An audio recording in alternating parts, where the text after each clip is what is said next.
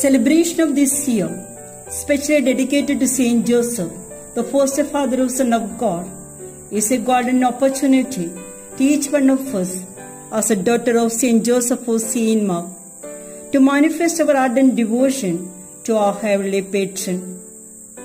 The scripture reveals to us Joseph was a just man. He was innocent and pure and became the husband of Mary.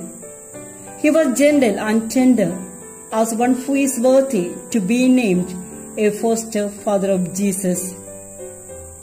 Saint John Paul II says the growth of Jesus and wisdom and in stature and in favor with God and man, Saint Luke 2.52, took place within the Holy Family under the eyes of Saint Joseph, who had the important task of raising Jesus, that is feeding, clothing and educating him in the law and in the trade, and keeping with the duties of a father.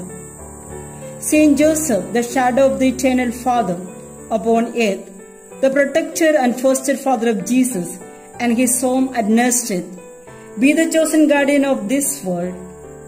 Intercede to Jesus to take away the fear, anxiety, and the feelings of isolation from the minds of the people.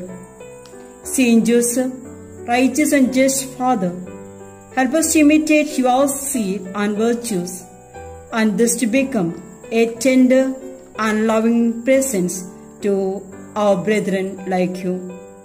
Saint Joseph, whose protection is so great, so strong, so prompt before the Lord, assist us by your powerful intercession to obtain the spiritual blessings through Jesus Christ our Lord.